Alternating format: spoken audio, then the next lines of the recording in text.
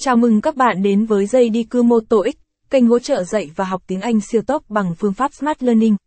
Đây là video thuộc series video luyện nghe TOEIC được biên soạn riêng cho những bạn không chỉ đang có kế hoạch luyện thi TOEIC mà còn rất hữu ích cho những bạn muốn học tiếng Anh giao tiếp, đặc biệt là những người đi làm. Mỗi video bao gồm hai phần, luyện nghe lần 1 và nghe lại lần 2 với script và đáp án. Nào, chúng ta cùng bắt đầu nhé. Part 4. You will hear some short talks given by a single speaker. You will be asked to answer three questions about what the speaker says in each short talk. Select the best response to each question and mark the letter A, B, C, or D on your answer sheet. The talks will be spoken only one time and will not be printed in your test book. In the actual test, this part has 30 questions for 10 talks around four topics. Talk, announcement, telephone message, radio broadcast. Phần 4, bạn sẽ nghe một vài bài nói ngắn do một diễn giả hoặc nhân vật trình bày. Bạn sẽ được yêu cầu trả lời 3 câu hỏi về những gì mà diễn giả hoặc nhân vật đó nói trong mỗi phần trình bày. Hãy chọn câu trả lời đúng nhất cho mỗi câu hỏi và đánh dấu chữ cái A, B, C hoặc D trên phiếu trả lời của bạn. Các bài nói này sẽ chỉ được nói một lần và sẽ không được in trong đề thi. Trong đề thi thực tế, phần này có 30 câu hỏi cho 10 bài nói chuyện xoay quanh 4 chủ đề là Nói chuyện, thông báo, tin nhắn thoại, phát thanh truyền hình. Topic number 4. Radio broadcast. Chủ đề số 4, phát thanh truyền hình. Let's start. Number 89. Good evening, this is the news. First to environmental matters. A special news conference was held today to announce the conclusions of an official inquiry into the industrial pollution in local waterways. The inquiry was set up by the government following a toxic spill in January which caused the deaths of thousands of fish in rivers and lakes throughout the state. An official spokesperson announced new initiatives designed to clean up our waterways. It is believed that the massive losses of fish were due to the leakage of industrial waste from the state's industrial zone. The government also announced that they are seriously considering increasing fines for anyone caught dumping toxic wastes into our waterways. Number 95. What is an appropriate topic of the report?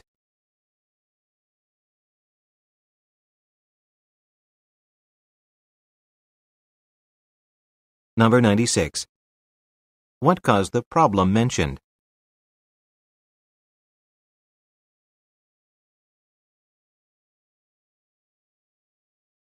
Number 97. According to the report, what is the government thinking of doing?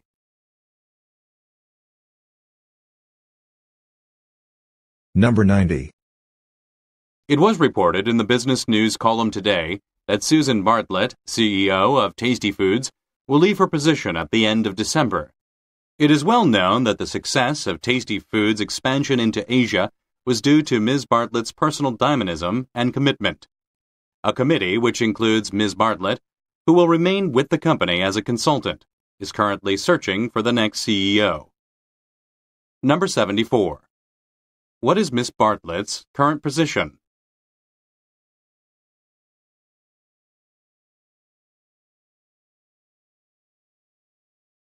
Number 75. When will Susan leave her job?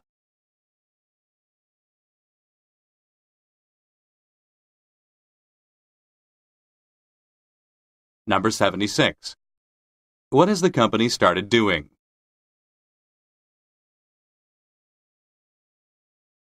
Number 91. The Triton Tire Company today announced that it will reduce its worldwide staffing levels by an estimated 5,000 workers. The biggest cuts will occur in Triton's home country, Malaysia. Triton hopes to reduce the number of its employees there by about 10%, or 3,000 workers, over the next three years. The other cuts will be made in Triton's sales, distribution, and fitting operations in Australasia, Europe, and North America. A company spokesperson told reporters today, however, that nobody will be sacked. The reduction will occur through natural attrition, voluntary redundancies, and non renewal of contracts. Number 95. What is the main purpose of the report?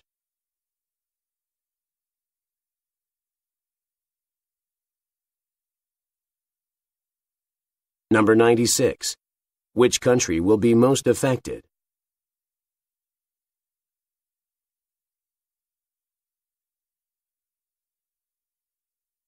Number 97. What did the representative of the Triton Tire Company announce today?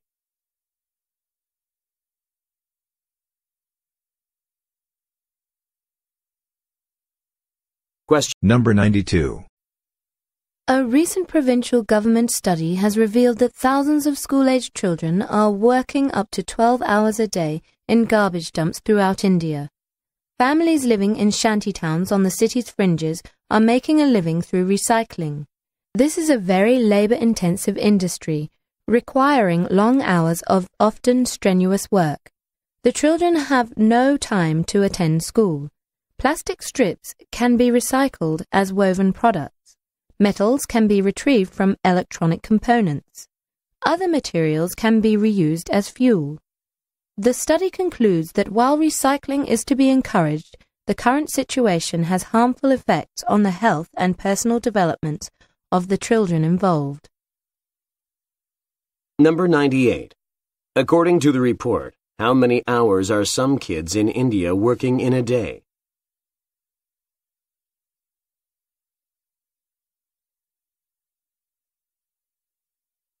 Number 99. How are some poor families making a living?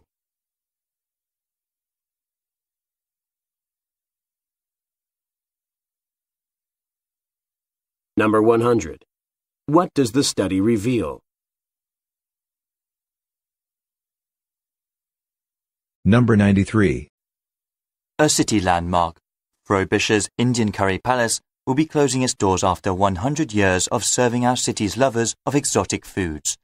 Built in an elegant two-story Victorian mansion, Frobisher's has nonetheless retained an unpretentious and relaxed atmosphere. The food could not be called sophisticated, but rather satisfying and reasonably priced. For that reason, Frobisher's has been popular with our artists, performers and musicians, and also our students. Many of the city's elite have also come regularly to enjoy the lively ambience. The current owners, Delhi Associates, have told reporters that they have decided to call it quits without disclosing the real reason. Now, here is Jeff to talk to some of our citizens at Frobisher's. Number 95. What is the report mainly about?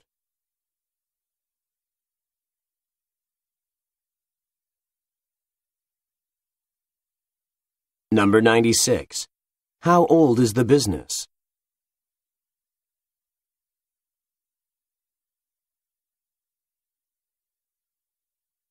Number 97. What does the speaker mention about the business? Number 94. In sports news today, Blackburn United announced their intention to recruit new players and expand their facilities after their historic cup final win on Friday night. Their win has attracted the attention of major new sponsors and investors from the corporate world. There are rumours that two star strikers now playing with European teams have signed or are close to signing. New coaching staff members will also be recruited, and training facilities and club rooms will be upgraded, a club spokesperson announced today. Number 74. What is the report mainly about?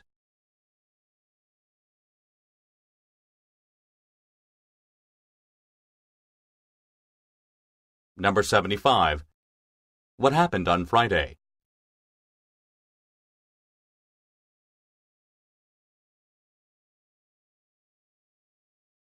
Number 76. What did the spokesperson announce? Number 95. This is Francis Kelly live from Collins Street with an update on the annual St. Patrick's Day Parade. Right now, I can see the first floats of the parade proceeding down Collins Street between George and Pitt Street. The warm and sunny conditions today have drawn out the crowds in record numbers. Police have estimated the crowd to be more than 100,000. Police have warned that anyone coming to the parade should not approach via either George or Pitt Streets. These roads are now completely blocked, and the police are no longer letting anybody past the barriers. Police advise that any spectators arriving now should proceed towards Federation Square, which is not yet completely filled. Number 86. Where is the parade now?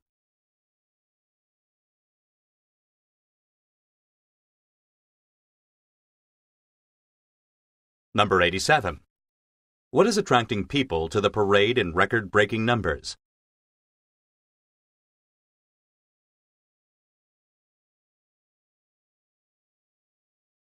Number 88. According to the police, what should those coming to the parade do?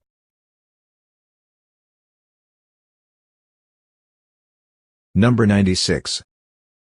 The Fairbank Town Council would like to announce a unique event, a unique program for all our residents. It's the Free Community Knowledge Festival.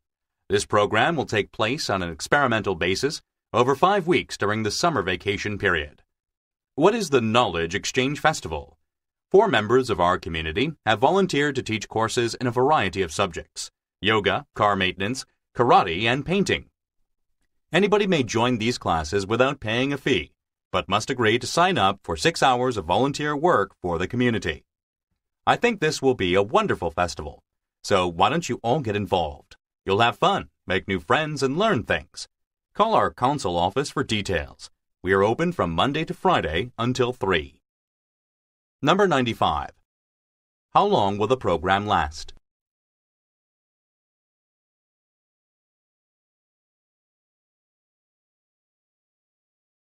Number 96.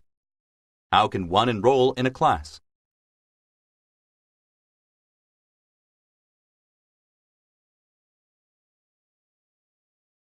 Number 97.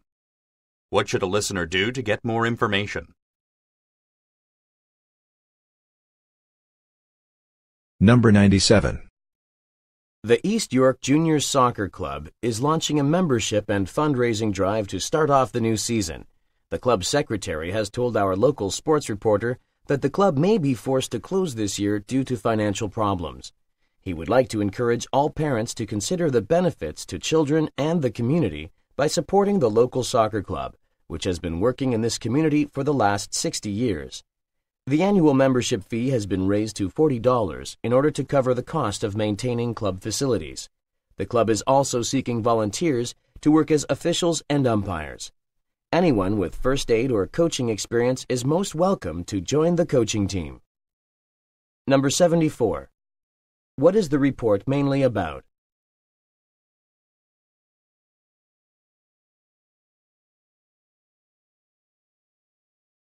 Number 75. What does the speaker say about the club?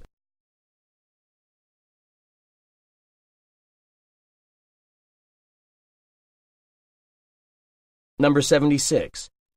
Who would most likely be considered for the position?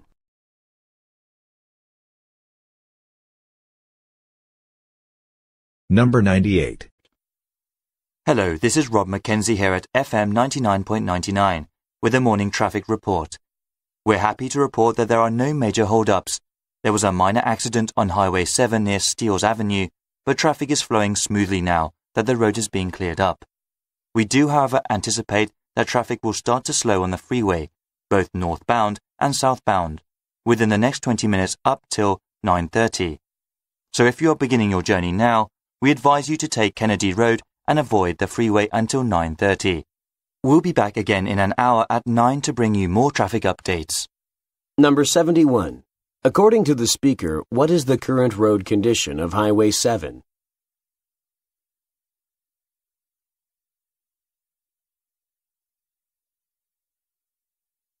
Number 72. What does the speaker advise the motorists to do?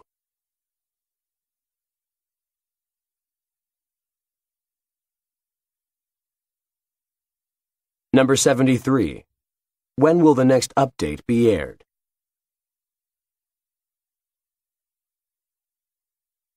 Number 99. Good morning, viewers. This is Brian Toohey with your morning weather report. Let's go straight to our satellite photo. As you can see, there is a massive cloud band approaching from the northwest. This is Tropical Storm Tracy. The Weather Bureau has issued a severe weather alert for all shipping and for residents of coastal towns in the northwest part of our region. Tropical Storm Tracy is expected to reach our coast between 10 and 11 o'clock this morning. All ships are advised to move to safe anchorage before 10 a.m. Residents of coastal towns are advised to stay indoors and prepare for flooding and wind damage. Stay tuned to this channel for updates every 30 minutes. Thank you. Number 95. When is Tracy expected to arrive?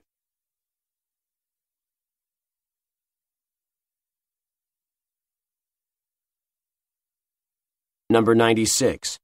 What does the speaker advise those living along the shoreline to do?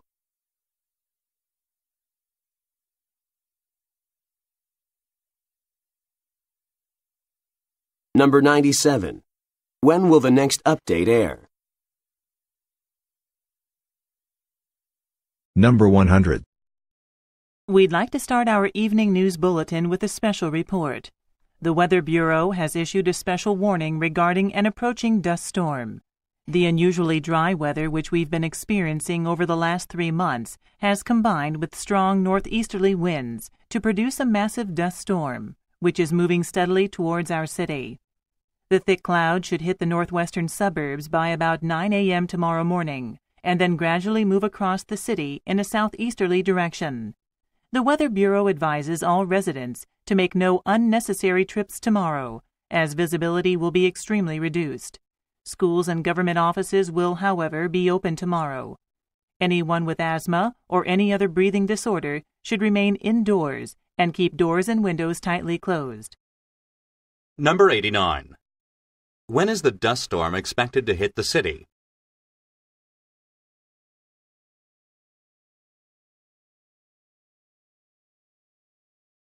Number 90. Why does the Weather Bureau ask the citizens not to take trips if necessary?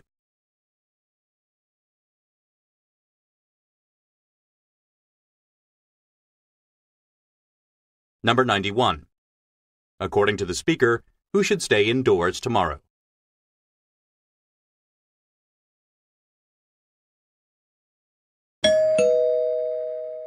We have finished the first listening practice. Now, listen again, see the script and check your answers. Chúng ta đã kết thúc phần luyện nghe thứ nhất. Tiếp theo, bạn hãy nghe lại một lần nữa, xem script và kiểm tra đáp án. Number 89. Good evening, this is the news. First to environmental matters. A special news conference was held today to announce the conclusions of an official inquiry into the industrial pollution in local waterways. The inquiry was set up by the government following a toxic spill in January which caused the deaths of thousands of fish in rivers and lakes throughout the state. An official spokesperson announced new initiatives designed to clean up our waterways. It is believed that the massive losses of fish were due to the leakage of industrial waste from the state's industrial zone. The government also announced that they are seriously considering increasing fines for anyone caught dumping toxic wastes into our waterways. Number 95. What is an appropriate topic of the report?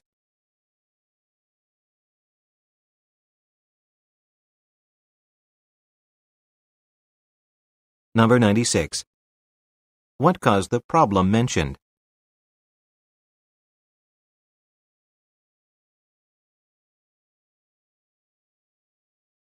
Number 97. According to the report, what is the government thinking of doing?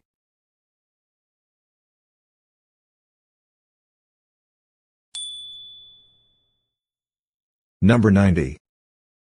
It was reported in the Business News column today that Susan Bartlett, CEO of Tasty Foods, will leave her position at the end of December. It is well known that the success of Tasty Foods' expansion into Asia was due to Ms. Bartlett's personal dynamism and commitment.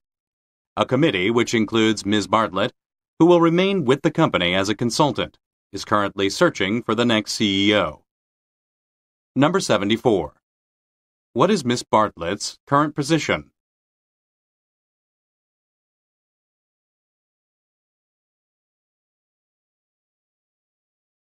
Number 75.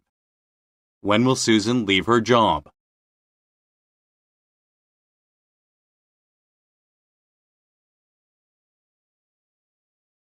Number 76. What has the company started doing?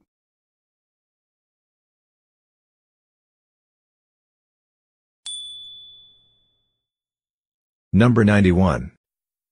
The Triton Tire Company today announced that it will reduce its worldwide staffing levels by an estimated 5,000 workers. The biggest cuts will occur in Triton's home country, Malaysia. Triton hopes to reduce the number of its employees there by about 10%, or 3,000 workers, over the next three years. The other cuts will be made in Triton's sales, distribution, and fitting operations in Australasia, Europe, and North America. A company spokesperson told reporters today, however, that nobody will be sacked. The reduction will occur through natural attrition, voluntary redundancies, and non renewal of contracts. Number 95. What is the main purpose of the report?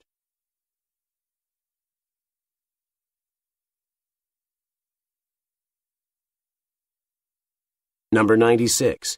Which country will be most affected?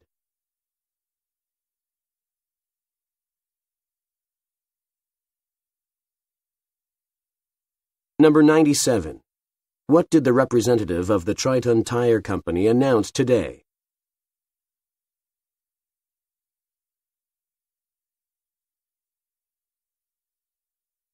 Question.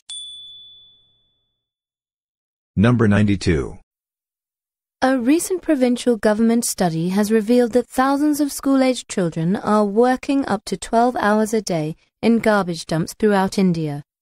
Families living in shanty towns on the city's fringes are making a living through recycling.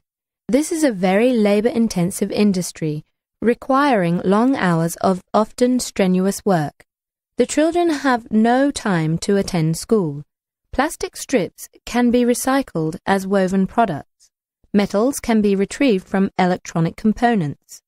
Other materials can be reused as fuel. The study concludes that while recycling is to be encouraged, the current situation has harmful effects on the health and personal development of the children involved. Number 98. According to the report, how many hours are some kids in India working in a day?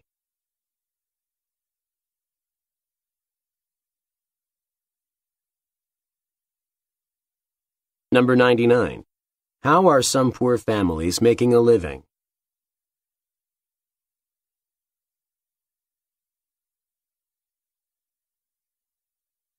Number 100. What does the study reveal?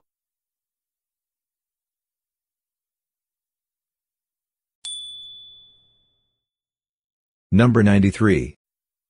A city landmark, Frobisher's Indian Curry Palace will be closing its doors after 100 years of serving our city's lovers of exotic foods. Built in an elegant two-story Victorian mansion, Frobisher's has nonetheless retained an unpretentious and relaxed atmosphere. The food could not be called sophisticated, but rather satisfying and reasonably priced. For that reason, Frobisher's has been popular with our artists, performers and musicians, and also our students. Many of the city's elite have also come regularly to enjoy the lively ambience. The current owners, Delhi Associates, have told reporters that they have decided to call it quits without disclosing the real reason. Now, here is Jeff to talk to some of our citizens at Frobisher's. Number 95. What is the report mainly about?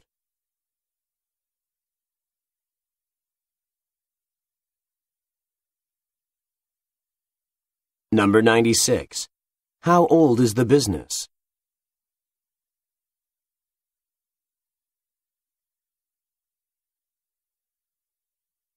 Number 97. What does the speaker mention about the business?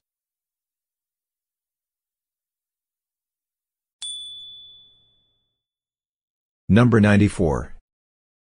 In sports news today, Blackburn United announced their intention to recruit new players and expand their facilities after their historic cup final win on Friday night.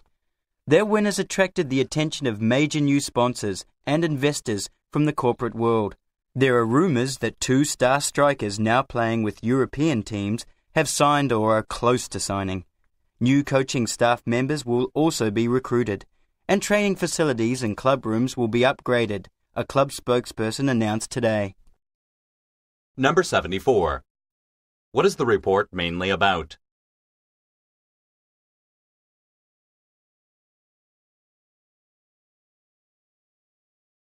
Number 75. What happened on Friday?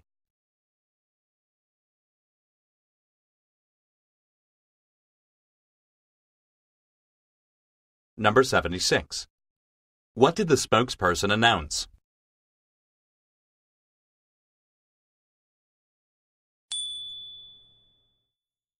Number 95. This is Francis Kelly live from Collins Street with an update on the annual St. Patrick's Day Parade. Right now, I can see the first floats of the parade proceeding down Collins Street between George and Pitt Street. The warm and sunny conditions today have drawn out the crowds in record numbers. Police have estimated the crowd to be more than 100,000. Police have warned that anyone coming to the parade should not approach via either George or Pitt Streets. These roads are now completely blocked, and the police are no longer letting anybody pass the barriers. Police advise that any spectators arriving now should proceed towards Federation Square, which is not yet completely filled. Number 86. Where is the parade now?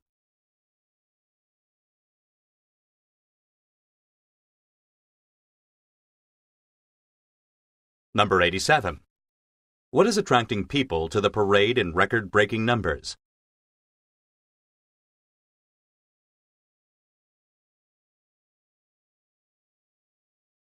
Number 88. According to the police, what should those coming to the parade do?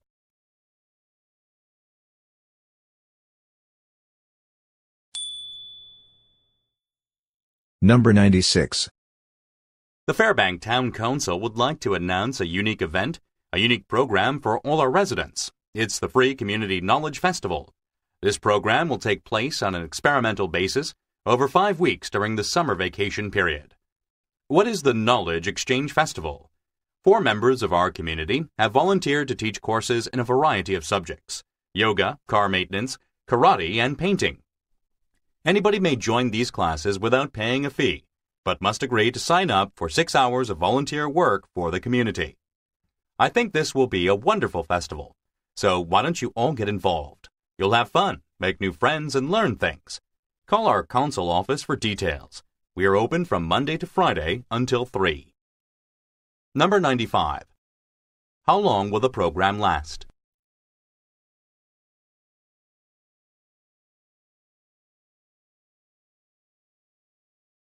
Number 96. How can one enroll in a class?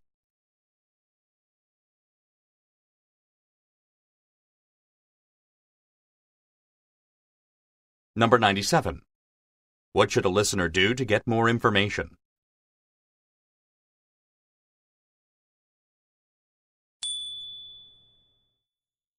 Number 97. The East York Junior Soccer Club is launching a membership and fundraising drive to start off the new season. The club secretary has told our local sports reporter that the club may be forced to close this year due to financial problems. He would like to encourage all parents to consider the benefits to children and the community by supporting the local soccer club, which has been working in this community for the last 60 years. The annual membership fee has been raised to $40 in order to cover the cost of maintaining club facilities. The club is also seeking volunteers to work as officials and umpires. Anyone with first aid or coaching experience is most welcome to join the coaching team. Number 74. What is the report mainly about?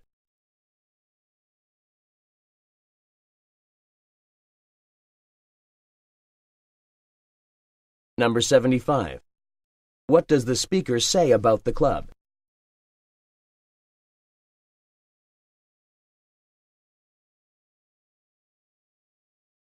Number 76. Who would most likely be considered for the position?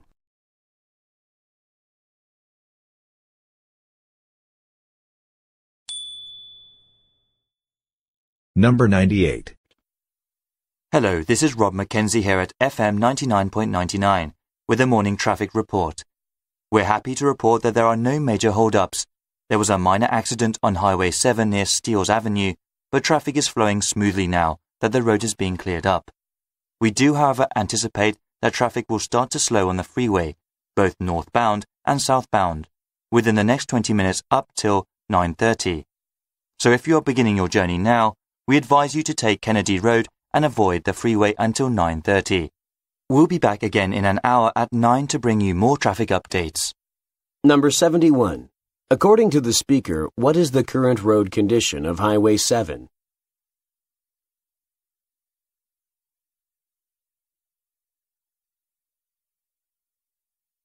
Number 72. What does the speaker advise the motorists to do?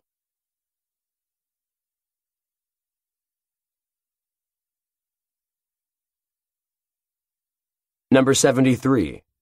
When will the next update be aired?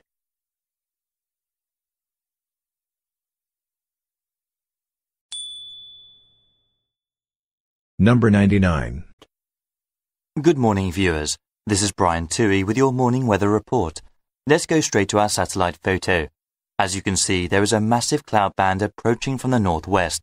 This is Tropical Storm Tracy. The Weather Bureau has issued a severe weather alert for all shipping and for residents of coastal towns in the northwest part of our region. Tropical Storm Tracy is expected to reach our coast between 10 and 11 o'clock this morning. All ships are advised to move to safe anchorage before 10 a.m.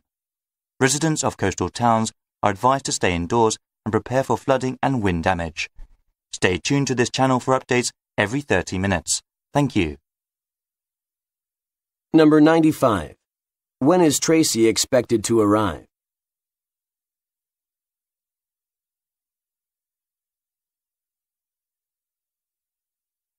Number 96. What does the speaker advise those living along the shoreline to do?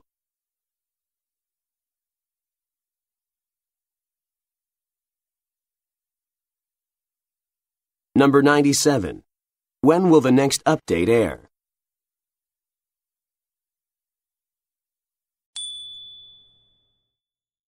Number 100. We'd like to start our evening news bulletin with a special report. The Weather Bureau has issued a special warning regarding an approaching dust storm. The unusually dry weather which we've been experiencing over the last three months has combined with strong northeasterly winds to produce a massive dust storm, which is moving steadily towards our city. The thick cloud should hit the northwestern suburbs by about 9 a.m. tomorrow morning, and then gradually move across the city in a southeasterly direction. The Weather Bureau advises all residents to make no unnecessary trips tomorrow, as visibility will be extremely reduced. Schools and government offices will, however, be open tomorrow. Anyone with asthma or any other breathing disorder should remain indoors and keep doors and windows tightly closed. Number 89. When is the dust storm expected to hit the city?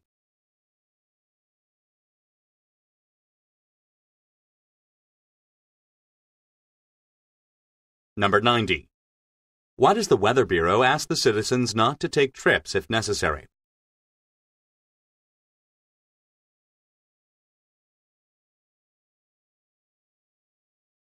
Number 91. According to the speaker, who should stay indoors tomorrow?